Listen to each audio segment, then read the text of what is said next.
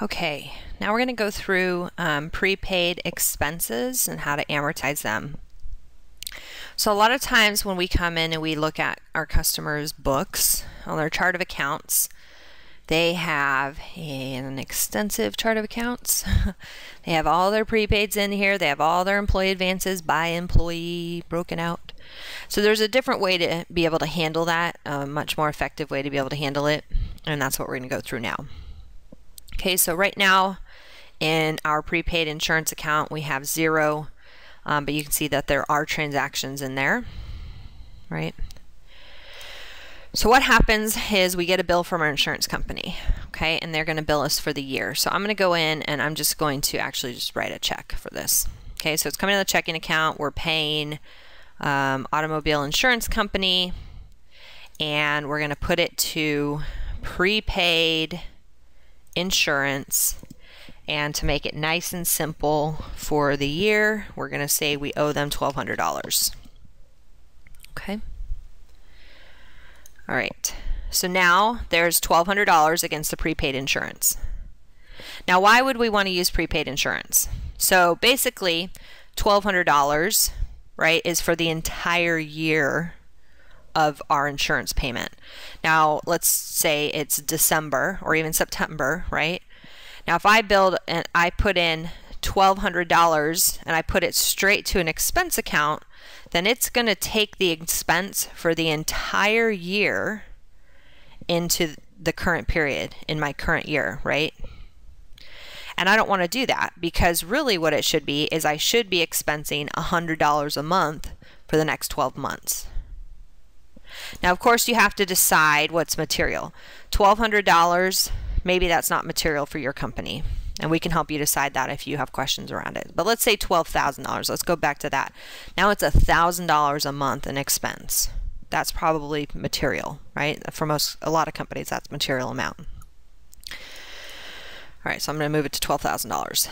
Okay, so now that I have that in there in prepaid in insurance, uh, what we want to do is we want to go in and set up a recurring journal entry to what's called amortize our prepaid insurance. So we come into the journal entries. I'm going to hide that stuff down there. And I'm going to say we want to credit prepaid insurance $1,000. And in my memo, I'm going to say monthly uh, amortization of prepaid car insurance. Okay. I can put in here a name, right? So what vendor are we amortizing this for? And I already forgot the name that I used. Let's go look. Uh, automobile insurance company. How, how could I forget that?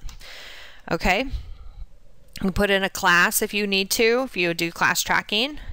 And then the debit side is going to be where you hit your expense monthly. So we have insurance auto.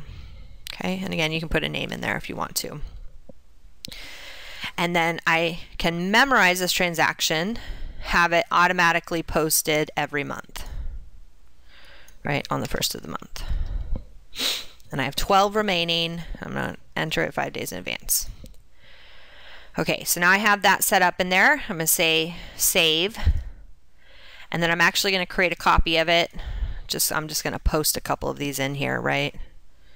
So save and then create a copy and save. Okay, so now I have three months worth posted. All right, so I have in here my prepaids. So what's nice about it, since I have it running through the balance sheet account, on the balance sheet accounts, you can reconcile these. So I can come in and say, I'm going to reconcile my prepaid insurance account. Now, the balance that you should reconcile anytime you're reconciling any balance sheet account in QuickBooks that you are not getting a statement for, right? Like I'm not going to get a statement from my insurance company that says you've amortized $3,000 so far this year. No. So if I don't get a statement like I do from my bank when my bank says you have, you know, $78,154 in your bank, then I'm always going to reconcile it to zero. Okay? Because what I'm trying to show is I'm trying to show the ins and the outs of the inside the account and I'm going to show that they balance. So in here, right, again, we had those old ones, that 6875 that were sitting up in here for Gretton Insurance. You can see the payee. Now on the journal entries, I didn't put the payee on there, but I know that that's all Gretton, so I can check them off, okay? Notice that I check off the right side, I check off all the ones on the left side, it gets me down to zero, and I can hit reconcile now, and then just close out the reconciliation. So now when I go back into my reconciliation again, all that I'm left with in here is my $12,000 for automobile insurance and then the $3,000 that I have amortized. Okay, so I'm going to go ahead and set up a separate example. So I'm going to go ahead and just banking write checks again, and I'm going to write a check this time to, let's say, Health Insurance Company, and it's going to go to prepaid insurance. This time it's going to be for 20 20, let's say 24, uh, 24, 2, okay? And so I have that set up in there, prepaid insurance. Yes. And then I'm going to go in again and create my journal entries to amortize it. And you know, if you need help creating your amortization amortization schedule, we can help you with that because the thing that you want to understand with creating your amortization schedule, let's say with insurance, right? So sometimes what'll happen is you'll pay $10,000 down and then you have a payment in 90 days of $10,000 then you have the remaining payment of $4,000 at 6 months or something. So sometimes you have to mess around with that amortization schedule. But in the end, you know, we need to know what's the time period. So this 24,000, let's pretend 24 22 42 let's say this was a three year contract, right? So what I'm going to do is I'm going to come in here to prepaid insurance and I'm going to credit it 24, 24, 20, and I'm divided by 36 months. So it's 673 a month, okay? All right, and again, it's important if you can put the name in there, health insurance company. Okay, now again, if you pay, like insurance companies, generally you pay them every month, right? You don't pay them 12, 36 months in advance. So if you pay them every month, doing this as a prepaid is not the way to do it. You just want to hit to hit the expense account. This is only if you're prepaying for several months in advance. Okay, so prepaid insurance, the expense is going to be uh, health insurance. I don't know, we'll say general liability for now. I'm going to save it and then I'm going to create a copy of it, right? And do it at the end of February, create a copy of it, do it at the end of March, create a copy of it, right? And I'm you're not going to do this ahead of time.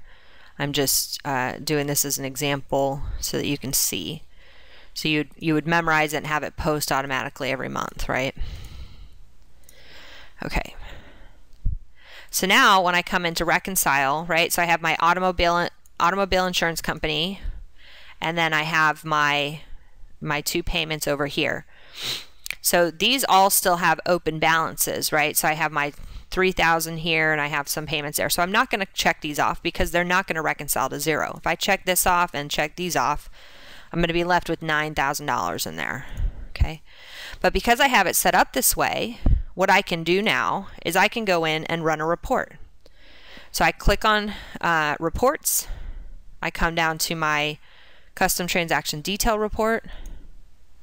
I'm going to say for all time. And then I'm going to filter the report for just prepaid insurance. Okay.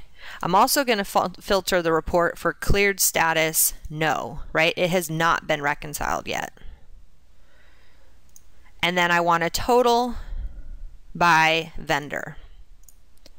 So see what it does for me is it picks up, it says, oh, you have $12,000 in there and 3000 has been amortized. So you have a balance of $9,000 against your automobile insurance company. You have a balance of 20,201.66 against your health insurance company. Okay, and then what if you're doing this correctly, that that balance here, that 29,201.66 should tie out to your balance that's sitting in that account. Right? If it's not, again, you know, we have to troubleshoot why not. Okay, but that allows us to keep track of all of our prepaids in one account. We can still run the subledger report to know how much per company we're due. And then, so I'm going to go ahead and open up this journal entry and create a copy of it. And I'm just going to do the remaining 9,000 as an example here. Of course, you'd want to do it every month, but I'm just going to close that one out. So now when I go into reconcile, right, so I can say, oh, you know what, $12,000 automobile insurance company. Actually, wait, before I even reconcile, what's better is to look at your report. So see here on my report, my report is showing me you can reconcile this these payments out because it's it's going to zero now. Okay, so then I know I can come in, check off everything automobile insurance. It's going to bring me down to zero. I hit reconcile now. And now look, on my report that I created, I'm only left with my health insurance company open transactions, right, that I need to amortize. Okay. So that is how to do prepaid expense amortization. The same thing can be done with prepaid, I mean, any prepaids, the same thing can be done in there. Same thing can be done for any kind of employee advances. So if your employees are borrowing money and then they're slowly paying you back, that's another one that we do frequently. You don't have to set up a sub account for every single employee who owes you money. Use that name field and then use the reports appropriately so that you can see what the balance is in that account and who owes you the money. Okay?